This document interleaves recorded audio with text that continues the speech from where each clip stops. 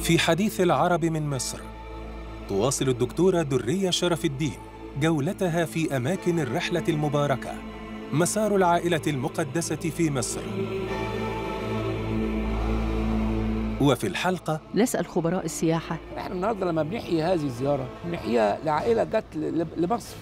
مش جت للمسيحيين والخارجية؟ من المهم جدا إن الدولة المصرية ممثلة في كل وزاراتها إنها تستفيد بهذا المسار للترويج ولزيارة مصر. والمجتمع المدني؟ تنسيقات أدت بالمشروع إن إحنا أنجزنا ما يزيد على 90% من تنمية نقاط مرور العائلة المقدسة. عملنا فندق على اسم العائلة المقدسة ومهتمية بيه الدولة قوي بصراحة. كيف يصبح مسار العائلة المقدسة مساراً لملايين المسيحيين في العالم إلى مصر؟